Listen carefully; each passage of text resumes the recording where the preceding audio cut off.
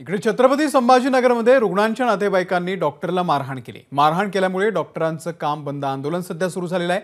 या आरोपीला अटक केल्यानंतर डॉक्टरांकडून आपत्कालीन सेवा सुरू झालेली आहे. घाटी रुग्णालयाच्या डॉक्टरांच्या डॉक्टरांच्या सुरक्षेचा प्रश्न पुन्हा एकदा ऐरणीवरती आलाय.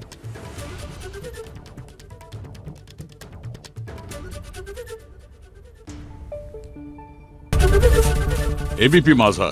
उघडा डोळे बघा नीट.